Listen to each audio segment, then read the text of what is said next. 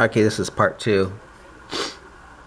Uh, I have no idea what this thing is called. I'm thinking the book will be called uh, Keter Othman, Cutler Othman, Othman versus Rammat Rams er, versus versus Rammat. Yeah, which I'll publish as a Ram as a Rammat Ramzi book. Okay, when I read his words, I'll be using this side of the face. When I use mine, that side. Okay. Quote, the slave for the state. Nice twisting and taking out of context. If I've done as you accuse, taken out of context, put it in context and don't twist it. This verse means that when someone gets killed, kill his killer, not the whole family or another man. How do you get that with the slave for the slave? It goes as it goes as follows. This is the Quran. It says, "O you who have attained to faith, just just retrib- just retrib- retribution is ordained for you in cases of killing, the free for the free, the slave for the slave, and the woman for the woman." That's Baqarah 178. What does the slave for the slave mean to you? How does this mean that if someone kills your slave, you don't kill their slave? How? How am I twisting, unquote? How am I, quote, twisting, twisting unquote? Or, quote, taken out of context, unquote? Here. How am I doing it here? By the way, if I have it right, well, where are the rights of the slave? The free man and the woman. Why should they die if they're innocent for you killing their slave? Oh, free man or, or free man or, or, or a free woman or, or woman. Um, think, O slave of the best deceivers, think. Does it mean that if a slave is killed, another slave, irrespective of the murderer, is to be killed? You're going to say it doesn't? Please, if it doesn't mean what it means to me, I, I want. Please say that, huh? I want. I want to have some fun here. What if a woman is killed? Then another woman has to be has to be killed in compensation. But you will say it doesn't mean that, right? This is not applied in any Islamic country, even though it's the Quran that uh, is saying it. So you're saying Islamic countries don't follow this insanity from the Quran? Well, if not, then then that is hopeful. It proves that Muslims really don't believe this crap.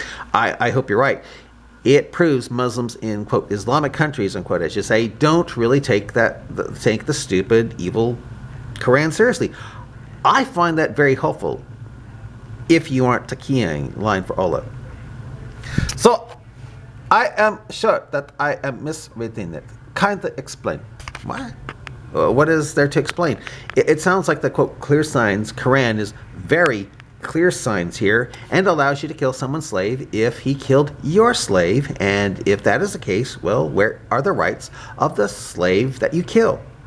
Where are the rights? It means we shouldn't hate America for the time the U.S. had slavery, if you ask me. Like just were doing. Oh, so since Jews might have mistreated slaves, bad means it's okay to kill someone's slave if he or she has killed your slave. How does Jews being evil make it so Muslims should be evil. I thought Muslims were supposed to be better than anyone else. What what happened? You mean if if if I do something stupid or evil, that means a Muslim can do something super evil too? Uh, aren't Muslims to be better than me? An infidel. Think, O slave the best deceivers. Think.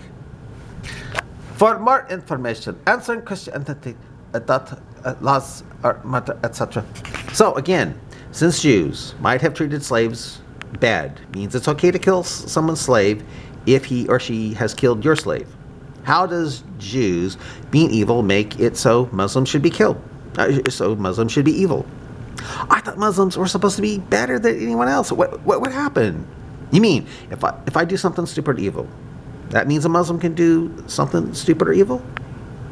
I can't. Aren't Muslims supposed to be better? Think, I'll say best deceivers. Think. If anyone slew a person, unless it be for murder, or for spreading mischief in the land, it would be as if he slew the whole people. That comes from the Talmud. You do realize, though, that you do realize that, don't you? And when Mo plagiarizes it by putting it in the Quran, it's a command to the Jews and not the Muslims. For read on about what what happened. Well, read on about what is to happen to those who spread mischief, mischief, mischief in the land, which means basically uh, bringing Bibles into the land or preaching something that's other than Islam, or saying that Allah is more than one or something like that. Uh, check it out, please. And if anyone saved a life, it would be as if he saved the life of the whole people. That's 532, correct. So, if you kill someone, everyone dies on the planet. And if you want to bring them all all to life again, become a doctor and save someone from an appendicitis? This is even stupid when it comes from the Talmud, if you ask me. Verse 424 of Quran. Verse 424. They are their money that time, and better than prison and killing. If they captivate, if they captivate them without their husbands, they can wait for one period and get into them. I guess have sex with them. And you have no problem with this? Where is the consent of her non-Muslim captured husband to make to, to, to, to not make it rape, but good old adultery? Where? Again, you have no problem with this. So, that will be divorced that way. Again, you have no problem with this? Where is the consent of her non-Muslim captured husband to make it, to, to, to, to not make it rape and, and adult and just make it adultery? Where? Again, you have no problem with this. Really? But if they captivate both together, they can't do it. Oh? Well, about together, huh? Then check this out from Muslim 834 or 32. And especially Sunan Abu Dhabi, that's Sunan Abu or Abi Dawud 220 and 50, please. Where the rape, I mean, quote, intercourse, can take place in the presence of her husbands who are unbelievers. I, I kid you not. It says, in the presence of their husbands who are unbelievers. And you have no problem with such evil allowed from Allah the Exalted? How come you don't? I think you know that, but twisted or misled like David would. Where did he once twist and mislead here? Again, check out Muslim 834.32 and especially Sunan Abu Dawud 22050 or Sunan Abu Dawud 22050. Please, where the rape, I mean, quote, intercourse, can take place in the presence of their husbands who are unbelievers. I, yeah, really. This is not your life. Right. It's my hobby to expose the evil and stupidity of, the, of Islam on the internet. It's my hobby. Their life was like that, and they played, uh, and they plagued it with, plagued it as a part of culture and financial system that can't be dealt with at once. Who are you talking about? What's this? They? What's this? What? What's this have to do with the Quran saying the slave for the slave. That is, someone kills your slave, you can kill their slave. But step by step, what?